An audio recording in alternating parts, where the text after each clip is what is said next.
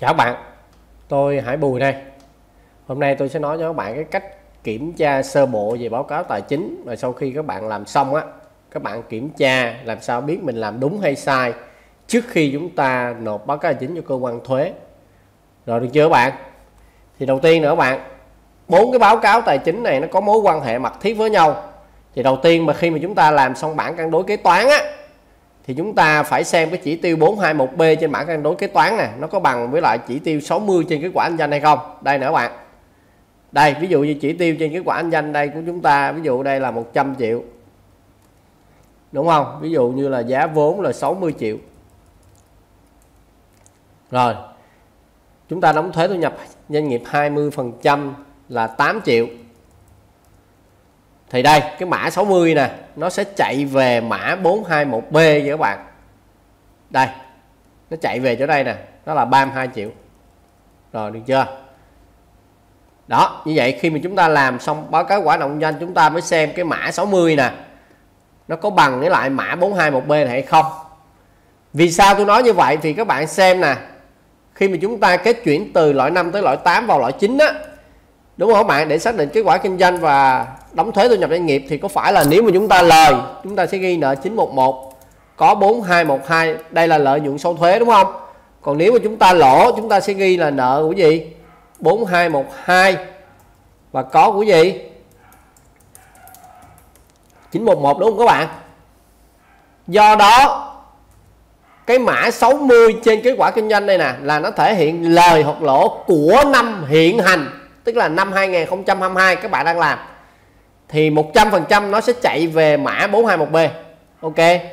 Còn nếu mà nó không bằng, thì các bạn phải in cái tài khoản 4212 này ra xem. Thì tôi dẫn chứng một vài trường hợp không bằng nè. Trường hợp 1 là các bạn hạch toán trực tiếp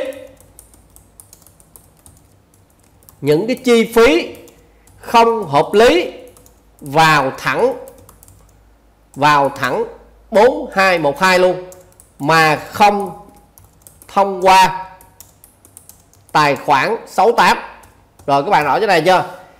Nếu mà các bạn hạch toán trực tiếp những tài khoản chi phí mà thuế không chấp nhận, ví dụ như là chi phí không có hóa đơn nè, chi phí tiền phạt nè, các bạn hạch toán thẳng vào 4212 luôn, thì nó có lên kết quả kinh doanh không các bạn? Nó có lên trên kết quả kinh doanh này không? Không như vậy nếu mà các bạn hạch toán thẳng như thế này nè, là đúng hay sai nè?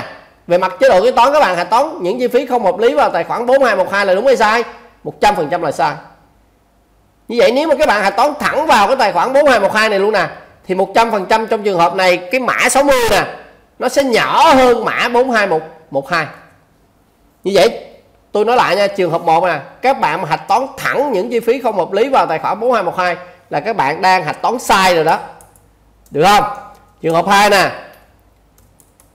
Là các bạn không kết chuyển từ 4212 sang 4211 đầu năm. Đó. Tức là nhiều bạn kế toán của mình á, là khi mình làm kế toán á, thì về mặt nguyên tắc á, là cái tài khoản 4212 nè, là cái số dư cuối kỳ của nó là nó thể hiện làm sao? Lời hoặc lỗ của năm hiện hành thôi. Chứ nó không có được mà lấy lũy kế từ lúc thành lập đến năm hiện hành. Do đó, ngày 1 tháng 1 hàng năm, chúng ta phải kết chuyển từ 4212 sang cho 4211 để cái số dư 4212 nè, nó chỉ là lời hoặc lỗ của năm hiện hành thôi. Được chưa? Do đó, nhiều bạn kế toán của mình không hạch toán cái nghiệp vụ này, nên dẫn đến cái số dư của tài khoản 4212 của các bạn nó làm sao? Nó là lũy kế từ lúc thành lập đến năm hiện hành luôn. Vậy các bạn làm sai.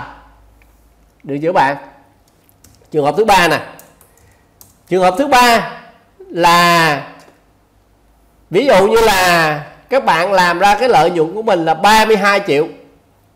Và trong năm 2022 các bạn có chia lãi một phần. Có nghĩa là các bạn chích lợi nhuận ra 10% hoặc là 20% trên 32 triệu nè.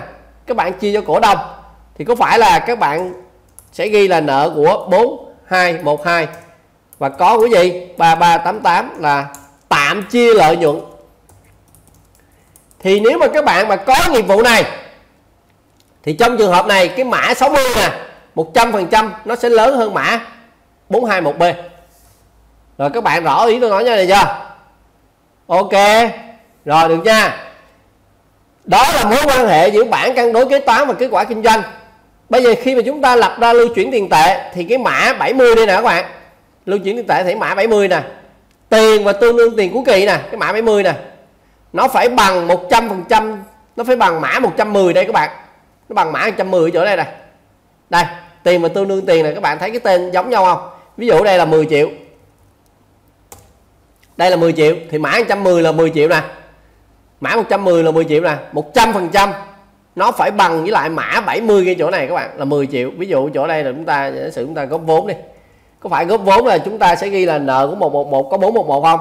Giả sử trong năm công ty của mình chỉ có mỗi một nghiệp vụ góp vốn này thôi, thì các bạn thấy mã 70 là 10 triệu nè. Nó có bằng với lại mã 110 không? Bằng không các bạn? Bằng. Rồi, đó là hai ý. Ý tiếp theo nữa nè.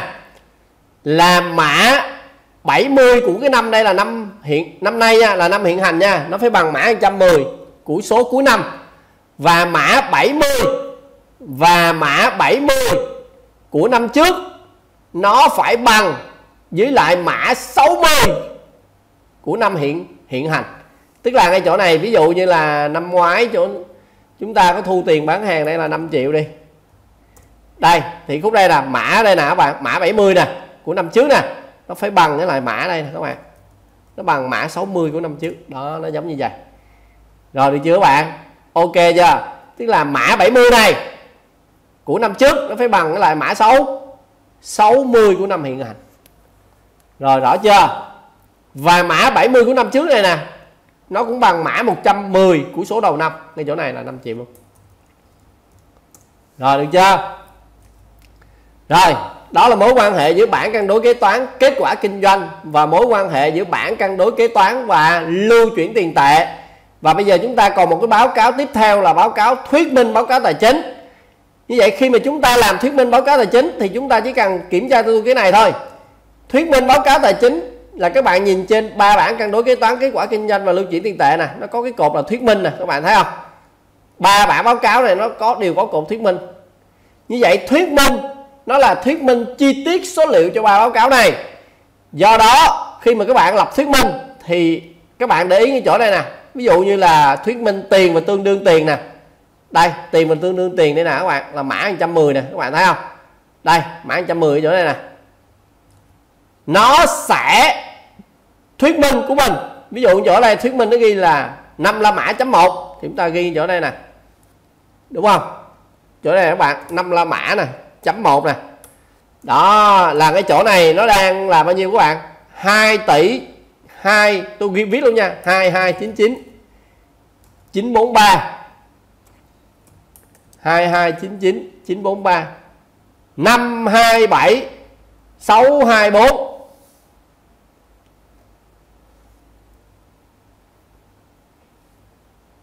không, ngay chỗ này nè. Đây, các bạn, tiền và tương đương tiền nè, nó đây, chỗ đây là 972 nè. Đây là 972 đây là 972 514 972 514 009 187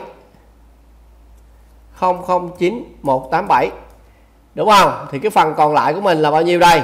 Thì chúng ta mới xem đây. Để tôi một tí. Đây. Đúng chưa? Chúng ta lấy 2299 đây, chúng ta coi nè.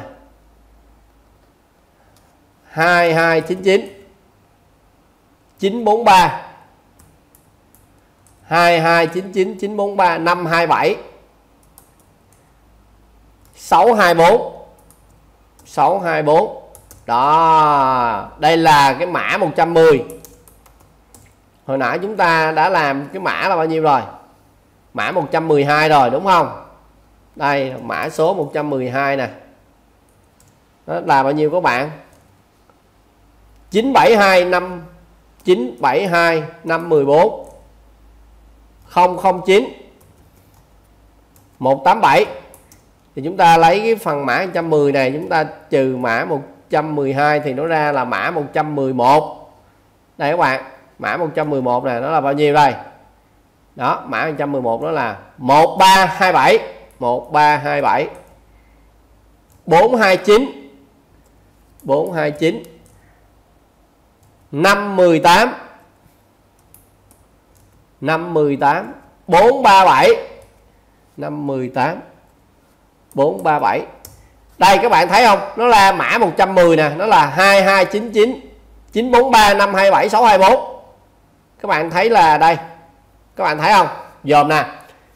Ở phần thuyết minh thì sau mỗi, dưới mỗi cái phần mà thuyết minh chi tiết nè, nó có hai cái dòng kẻ này gọi là dòng cộng á. Thì các bạn phải thấy cái cộng này nè. Cái cộng này nè nó 100% nó phải bằng với lại những cái mã mà chi tiết ở trên cái tiêu đề này nè. Ở đây là tiền và tương đương tiền nè, các bạn thấy không? Đây, tiền và tương đương tiền nè. Là 2299943527624 nè, các bạn thấy không? Thấy không? Như vậy khi mà các bạn làm thuyết minh báo cáo tài chính thì 100% ở dưới hai cái dòng kẻ nè, là cái số cộng á, nó phải bằng với lại từng cái số liệu mà các bạn chi tiết ở trên bảng cân đối kế toán, kết quả kinh doanh và lưu chuyển tiền tệ. Rồi, các bạn hiểu chưa? Ở đây là chúng ta đang thuyết minh chi tiết cho cái mục mã mớ một mã số 110 là tiền và tương đương tiền. Tức là muốn nhìn được tiền và tương đương tiền. Gồm những cái số liệu, gồm chi tiết những cái gì thì chúng ta phải xem phần thuyết minh. năm la mã chấm một, đây, năm la mã chấm một, tiền và tương đương tiền tiền và tương đương tiền. Nó chi tiết ra tiền, mặt tiền, gửi ngân hàng các khoản tương đương tiền. Cộng ba cái này lại thì nó ra con số tổng này. Thì con số tổng này nó chính là mã 110 như vậy được chưa? Như vậy trên bảng cân đối, kế toán, kết quả kinh doanh và lưu chuyển tiền tệ, nó chính là số liệu tổng. Các bạn muốn biết chi tiết thì hãy xem phần thuyết minh. Do đó khi mà thuyết minh thì các bạn có cái dòng gạch ngang này cộng lại thì cái số cộng này nè, nó phải bằng chi tiết từng cái mục mà các bạn thuyết minh trên bảng cân đối kế toán và kết quả kinh doanh và lưu chuyển tiền tệ rồi được chưa bạn. Ok. Hy vọng cái video này sẽ giúp cho các bạn biết cách kiểm tra sơ bộ bốn báo cáo tài chính để xem coi là bên dưới của mình làm đúng hay sai trước khi chúng ta gửi cho cơ quan thuế. Khi các bạn thấy video này hay, hữu ích, thì hãy cho tôi lượt like, comment, share về tường Facebook cá nhân, Zalo để mà xem khi cần cũng như lan tỏa giá trị này đến cho nhiều bạn cùng xem. Được không? Các bạn xem video thấy hay, hữu ích, nhớ cho tôi comment dưới mỗi video. Được không? Các bạn lên kênh youtube, gõ từ khóa là tự học kế toán.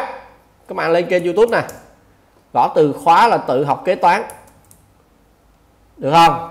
Tự học nè, kế toán. Các bạn bấm vô. Thì các bạn thấy tấn hải bùi bấm vào đây người ta mã hóa nó bằng thôi. thì các bạn xem mỗi video đi nào các bạn. Đó các bạn bấm vô xem mỗi video đây. Các bạn thấy video này mà hay hữu ích thì hãy bấm nút cảm ơn. Để tôi có tinh thần tôi ra nhiều video tặng cho các bạn. Và nhớ bấm vào nút đăng ký kênh ở dưới mỗi video. Được không? Và bấm vào cái chuông. Cảm ơn các bạn rất là nhiều. Cho đi. Cho đi các bạn. Các bạn hãy cho đi thật nhiều thì các bạn sẽ nhận được nhiều giá trị. Rồi được không bye. Bye hẹn các bạn trong những video tiếp theo nha.